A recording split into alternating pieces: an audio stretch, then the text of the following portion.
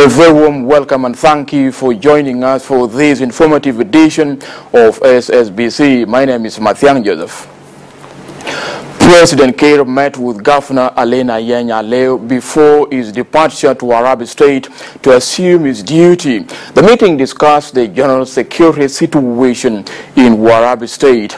Governor Aleu said he is going to address communal conflicts and restore peace and stability in Warrap State. Governor Aleu ordered for removal of, of roadblocks in Warrap State.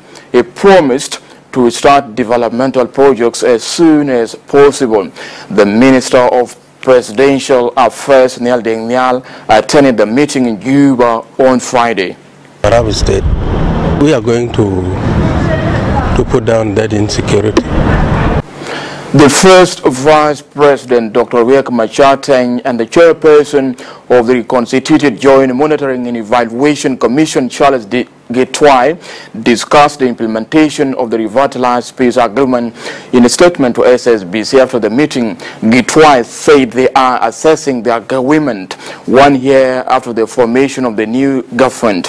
He said positive steps have been made in for informing state governments, but called for more participation of women and youth.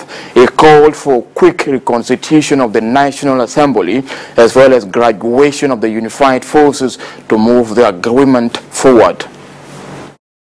Our main objective of our meeting today was to discuss the issues uh, regarding the one years of uh.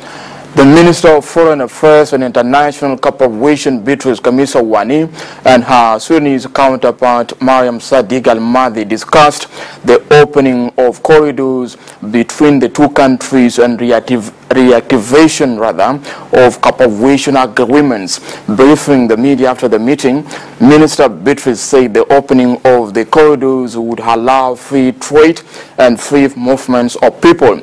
The Sudanese Foreign Minister, Mariam